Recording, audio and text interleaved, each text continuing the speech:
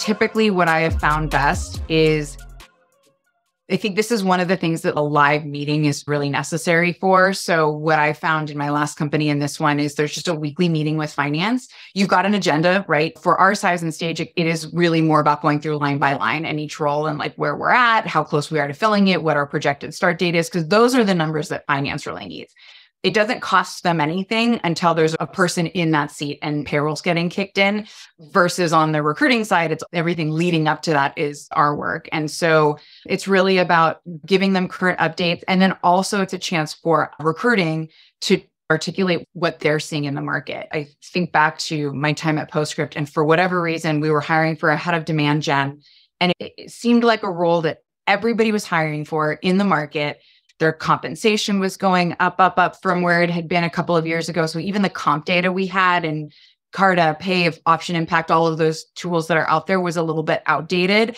And so it's having those meetings and and then getting to reset expectations with financing. Hey, we had scoped this budget for the role.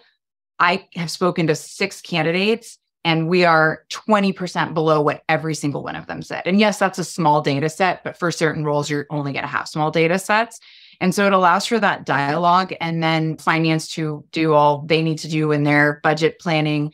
And then for recruiting to either understand, hey, we need to either rescope the role because we don't have the budget. And then recruiting can go off and work with the hiring manager and the hiring team to make sure that they're resetting their expectations or finance says, okay, we're going to increase this budget. And it just allows for no surprises. And so I think those weekly conversations, and they can just be 15 minutes. And I think keeping that meeting small is also really critical. So those are the types of meetings I would not pull my entire recruiting team into.